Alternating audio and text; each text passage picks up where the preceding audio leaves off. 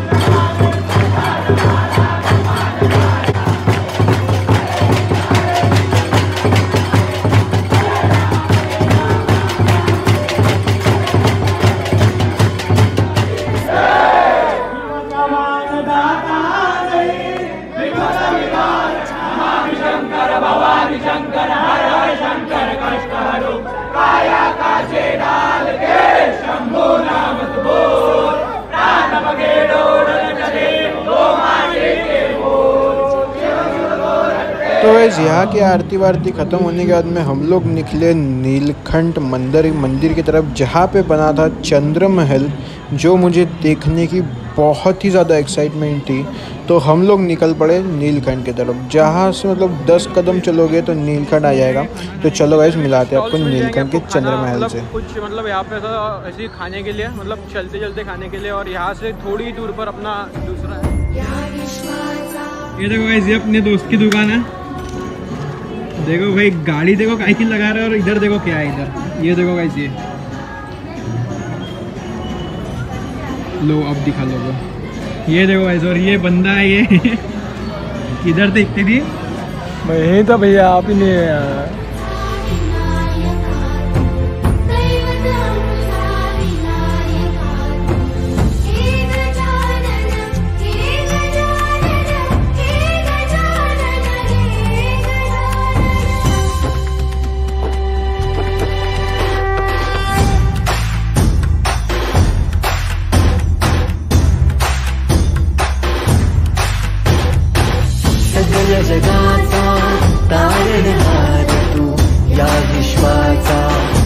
है यार लोकप्रिय तू मंगलदाता भक्तांची कामना पुरविता महाद्वार या नगरीचा तू महाद्वार या नगरीचा तू।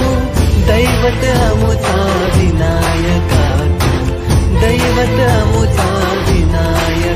तू। हे गजानन हे गजानन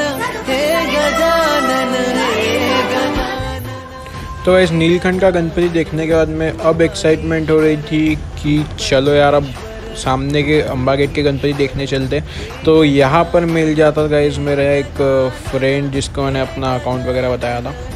तो चलो गाइस दिखाते हैं अभी आपको आगे के अपने अम्बा गेट वम्बा गेट के तो वापस आए थे हम नीलखंड के, सामने से जाना पड़ेगा ना यहाँ से। मतलब आज़ाद मंडल के तो ये देख लो वापस से। और अभी चलते हैं, दिखाते हैं आपको अम्बा गेट के रोड पे, गणपति।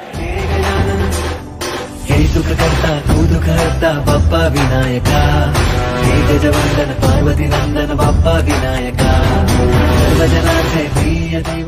तो गैस अभी हम लोग आए अनंत मंडल में तो यहाँ पर देखो ऑरेंज कलर का गणपति बिठाया जो दिखने में बहुत ही खूबसूरत दिख रहा है। तो मस्त देखो गाइज़ और इसके बाद में दिखाते हैं आपको गजानन हे गजानन हे गजानन हे गजानन हे गजानन तू आधीश्वर तू परमेश्वर